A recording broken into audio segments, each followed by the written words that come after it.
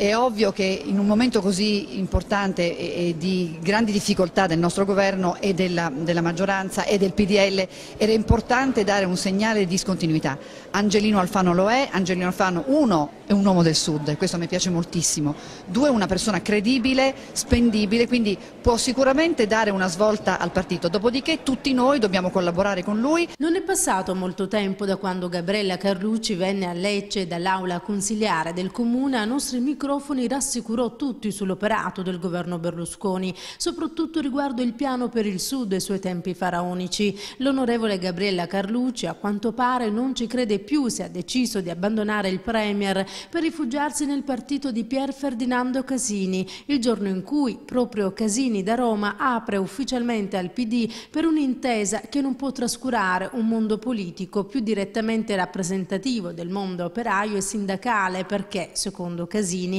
altrimenti significherebbe essere irresponsabili. Quindi una delle donne di Berlusconi va via, nonostante il Presidente del Consiglio avesse annunciato che chi lo abbandona è un traditore, convinto che la sua maggioranza può portare a termine il mandato fino alla fine. L'ex soubrette di Mediaset e poi dal 1994 parlamentare, attualmente sindaco in Puglia presso il comune di Margherita di Savoia, saluta tutti a Palazzo Grazioli ed auspica auspica un governo di larghe intese, l'unica strada per salvare il Paese. L'addio di Gabriella Carlucci mette ancora più in crisi la maggioranza dove si fanno i conti sui numeri che traballano. Ho cambiato la mia vita con grandi sacrifici familiari, ha dichiarato Gabriella Carlucci, perché ho creduto nella politica, ma non in quella che da qualche tempo non riesce a preoccuparsi di quanto drammaticamente sta accadendo. Insomma, se cominciano ad abbandonarlo anche le presentatrici, significa che la situazione è davvero disperata.